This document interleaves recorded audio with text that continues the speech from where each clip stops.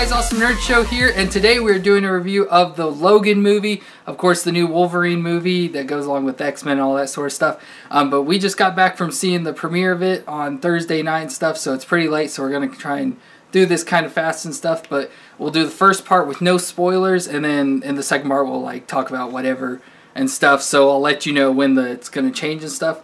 Um, but to start off, um, we'll just say whether the movie's good or not, and I would say it was. How about you, bro? I really enjoyed it. And we decide what to give it a six claws up. So whoosh, whoosh, three claws each, so six. Um, so that means it was a, it was a good movie and stuff.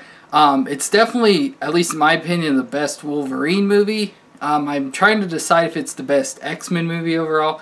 I mean, storyline wise and action it is, but I'm just trying to like think of overall um, stuff, and I can't decide that. Do you have any opinion?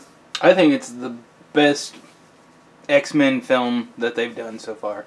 Yeah, like I said, I can't decide because I'm I like the X Men for all the different characters and stuff like that. With this, you don't have as many, so it's that's the only reason I can't decide. Um, but so it is a good movie. So if you're wondering about seeing, I think you should. Of course, we saw stuff about Rotten Tomatoes giving it a good, excellent score and everything and stuff. So they're I would say they're pretty right on there. I don't know if I would rate it as high, but it's still pretty dang good. Um, so what else can we say? Um, I would say one, the trailers don't. I mean, they kind of tell you this what's going on, like storyline wise, but almost everything in the trailers, at least from what I saw, is pretty much the beginning of the movie, and then there's just a few parts scattered throughout. So you're not really by seeing the trailer, you're not really knowing the whole story and everything. And there's all sorts of like twists and turns. Like to me, this reminded me of like a thriller more of a, than an action hero movie and stuff. Like because there was like a lot of like frightening or scary type stuff, uh, but no like there wasn't any like um, horror movie like slashers or anything like that. Um, but there was a lot of violence and um, cursing and stuff like that. So this is definitely a rated R film. Um, a lot more blood and gore than you normally see in an X Men movie or Marvel movie, and rather so it's just like Deadpool and everything. Um, so I don't know much beyond that. This is kind of a spoiler, but it's not because it's just to save you time. Don't sit till the end because there's no video at the or there's no like extended scene or additional scene whatever at the end. So don't sit through the credits like we did for nothing. Um, so I just don't want you to waste your time on that. Do you have anything else to add? Uh, I I just want to say that that movie was really intense. Like some of the fight scenes were really intense with how graphic they went on them. Yeah. For that being the first like X Men R-rated film. But not only that, but there's one scene I want to cover later on in the spoilers section that was super intense and just draining after it was ended. Yeah. Um, I guess the last thing I'll say, which is it's kind of a spoiler, but I'm not gonna say what happens or anything, but it is a I would say a sad movie. Um, so be prepared for that. That's not all rainbows and butterflies going and doing stuff like that. Um, but I think that's really all there is to say, spoiler free. Um, so we'll now move to spoilers and stuff. So if you don't want to know what happens or parts of stories, whatever, um, you can shut the video off now and stuff. Um, and you can watch later or not watch, whatever. Um, but we're going to do spoilers now, so this is your warning. Okay. Um,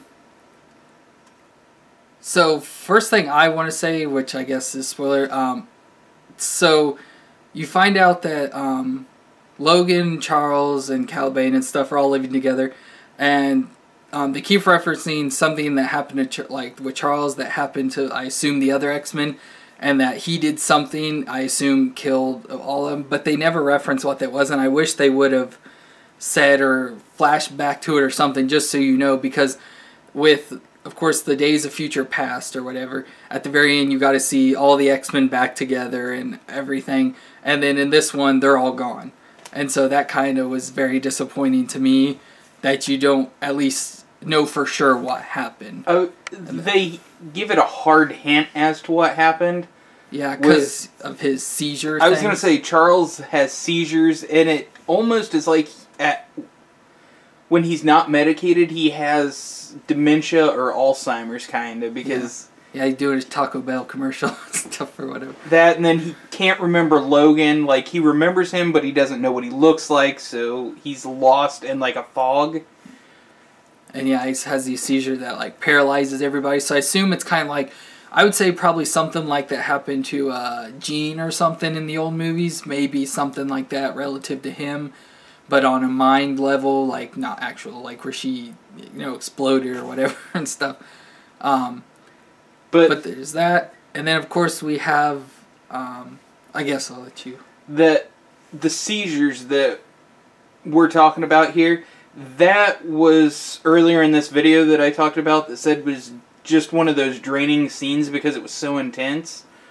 Uh, in the film, like midway through the film, there's a huge scene where Charles hadn't been taking his meds, and he has one of his seizures, and it is just so intense watching them do Yeah. slow motion scenery, and it feels like it drags on, Yeah. and by the time they do if- end it, it's you're just like drained. Yeah, and of course the like sound effects in the theater and stuff are all like thumping and every. It's so loud and everything. Because after um like once it slowed down and stopped, I was like, I wonder what it sounds like outside of the theater to like you know people walking by or in other theaters and stuff like how loud it was and everything, and that was just crazy. Um, and of course we ha- got the introduction of X twenty three, which is um, Wolverine's daughter. It's what taken from his blood. it's a clone of Yeah. him. Uh, well, at least they say like the sample is taken for him, and so this is what would be his daughter then and stuff. And so she has two claws out of her um, hands, and then one out of her feet, or I guess you know on each hands and foot and stuff type thing, not just one. Um, so that's kind of cool because she like takes out and so like kicks people and stuff like that. So that was pretty cool. And then we got introduced to like what they called the new mu- mutants, and I know Bro knows some of The only one that I really knew was Rictor, which he has the ability to kind of control the tectonic plates in the earth and raise and lower and eradicate the ground and stuff. Yeah. And so we had that, and then, um, so I'm assuming by the way it ends and stuff, we'll probably or maybe get a new Mutants movie. Like I said, with it being young kids, it's hard to tell if they would do that or not, but um, the way they left it, that, that they could. So there's that, and then of course we got the um, doctors and like the what you'd call the bad guys and stuff, the, The what Reavers. Reavers, yeah. So they have all their like what mechanical body parts and stuff, or that Which I was kind of let down about. One of the Reavers that was kind of popularized, popularized throughout the comics had a set of like military treads. So Oh. his like lower torso was gone and he just sat on there and like rolled around. That would have been cool. um, but of course, yeah, you had those guys, and then you had um, the Doctor, which of course is a guy that's been in a bunch of movies, and um, I really enjoy him. I don't know what his name is at all, um, but that I like seeing him in the movie. And then of course you had um, I don't know X twenty four, which was looked exactly like Wolverine, of course played by Hugh ja- Hugh Jackman and stuff like that too. It was a full-on clone, which Yeah, his character was a little bit of a letdown because they showed a giant cage in the film, and I was hoping for one of two characters, and I was hoping for either Daken, which is Wolverine's legit son, yeah. or I was hoping for Sabretooth. Yeah, that would have been cool too to bring Sabretooth back in and stuff. Because I know back when the movie was being filmed, there was mention about possibly bringing Liev Schreiber, or whatever his name is, back in as Sabretooth and stuff. And I thought that would have been cool. But yeah, so the whole time I saw it, I was like, is that his, you know, son Daken or whatever? Or however you say his name and stuff. Um, but it wasn't, at least by the stuff we got. But it was like cool, the additional like little story parts they put in and stuff, like where they meet the farm family and everything. But it's just of course sad the way it all ends and everything. Um so i don't know what else there is to go off. So just i guess that it was sad the way it ends. Of course everyone dies in the end except for the kids that are left of the new mutants and everything so xavier dies caliban dies which was a kind of cool we got to see him in the um apocalypse movie he was with i think um what's her Psylocke was with him. Like when you first see her in um, uh, the Apocalypse movie, she's with him, and he's like in an underground bunker and stuff. And Apocalypse does stuff to him or whatever to find other mutants and everything. And so he's in this with living with Wolverine and um, Xavier, like to try and take care of Xavier and stuff. And of course, he can like track mutants and stuff like that. Um, so it was really cool to see him, and I like the character and stuff. And um, they made you li- like he was a really likable character and everything. Of course, he gets killed. Um, and then, of course, the saddest part of Wolverine actually dying. So, of course, that lays the rest the Wolverine movies and everything, or Hugh Jackman as Wolverine and stuff, till they possibly find a new actor or something like that, if they do. And so that's all there really is. Do you have anything else to add, bro?